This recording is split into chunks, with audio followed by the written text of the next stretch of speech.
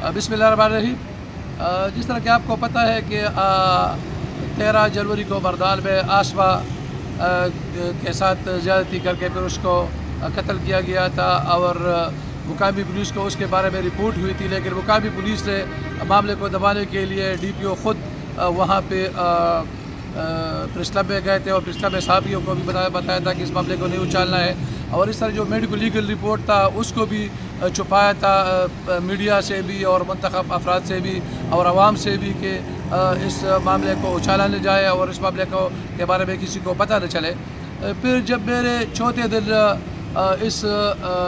آسما قتل کیس کا medical report legal report دیکھا تو اس میں اس کے ساتھ جنسی زیادتی بھی ہوئی تھی، وہ بھی رپورٹڈ تھا اور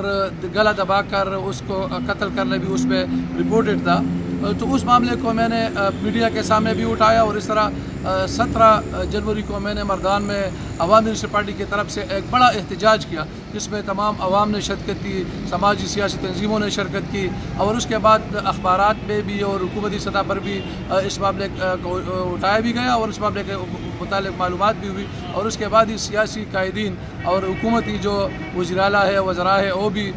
متاثرہ خاندان کو ملنے آئے اور ان کو اظہار ہمدردی کرنے آئے۔ روز، روزانہ کی بنیاد پر میڈیا سے میرے اس حوالے سے باتیں ہوتی رہتی ہے اور پولیس کی جو کمزوریاں ہے، وہ بھی میں پولیس عوام کو بتاتا ہوں میڈیا کے ذریعے اور اس طرح جو بھی کام اس حوالے سے ہوتا ہے، وہ میں بتاتا ہوں۔ ڈی پی او مردان کو میری باتیں اچھی نہیں لگی ہے اور اس لیے ڈی پی او مردان نے مجھ سے جو سیکیورٹی گارڈ تھے میرے، وہ بھی کلوز کیے، جو پولیس والے، اور اس طرح میرے دفتر جو سیکیورٹی گارڈ تھی، وہ بھی انہوں نے کلوز کی ہے۔ اور اس طرح ڈی پی او مردان نے خود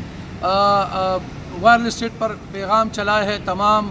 پولیس اہلکاروں کو پولیس افیسر کو ہدایت کی ہے کہ میرے ساتھ یعنی ڈسٹرکٹ ناظم کے ساتھ کسی قسم کا تعاون نہ کرے۔ ایک عجیب سا ڈی پی او ہے، میں نہیں سمجھتا ہوں کہ یہ ڈی پی او کی اپنی ذاتی پولیس کے، اس کی باپ کی برتی شدہ ہے، اس کی ذاتی ملکیتی پولیس کے، اس کے ذاتی نو کرے، یہ اپنے جیب سے تنخواہ دیتے۔ مجھے جو پولیس سیکیورٹی کے لیے ملی ہی، اور ایک صوبائی حکومت کے آرڈر کے تحت ملی جو کہ تمام منتخب ارکان کے پاس ہے صوبائی اور قومی اسمبلی کے ممبران کے پاس، تمام ناظمین، تحصیل ناظمین کے پاس یہ ہوتے ہیں، ان کے سیکیورٹی کے لیے۔ اور طرح ان کے دفاتر پر بھی گارڈ ہوتی ہے۔ تو یہ تو میرا کوئی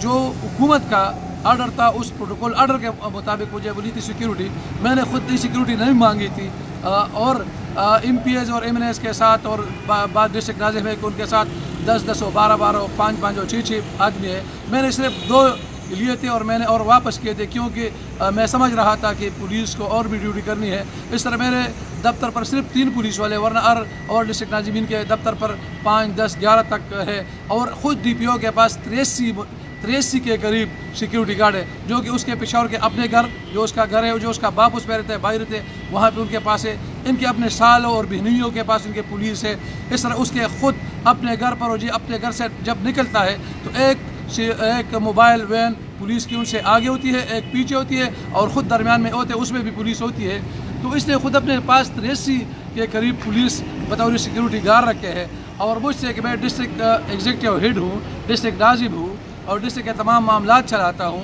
اور تمام ڈسٹرکٹ میں ادھر ادھر جانا، آنا جانا پڑتا ہے۔ اور اس طرح کہ میں، میرا تعلق بھی عوامی نیشنل پارٹی سے عوامی نیشنل پارٹی دہشت گردوں کی ہیڈ لسٹ پر ہے اور ڈی پی او کا یہ جو اقدام ہے، یہ بچگانا بھی ہے۔ اور یہ بدنیتی پر مبنی ہے۔ ڈی پی او نے اپنی بدنیتی کا اظہار اس میں کیا ہے۔ اور ڈی پی او جو کہ ایک بچہ سا ہے بھی، اس کے تمام عادات بھی بچوں سے ہے اور اتنا بڑا ضلع اس کے حوالے کیا گیا ہے۔ میں آئی جی خیبر پختونخوا سے یہی ریکویسٹ کروں گا کہ اس بچے پولیس کو یہاں سے ہٹائے، یہاں پہ کوئی مچھیور سا بندہ لائے کہ وہ یہاں کے امن و امان کے حالات بھی ٹھیک کرے۔ کیونکہ مردان چوبیس لاکھ پر مشتمل آبادی ہے مردان کی اور وہاں پہ اس طرح کا ڈی پی او نہیں چل سکتا ہے جو کہ ہر وقت اور ہر بات پر اپنی بچگانہ حرکتوں پر آتا ہے اور اس طرح کی بچگانہ حرکتیں کرتا ہے۔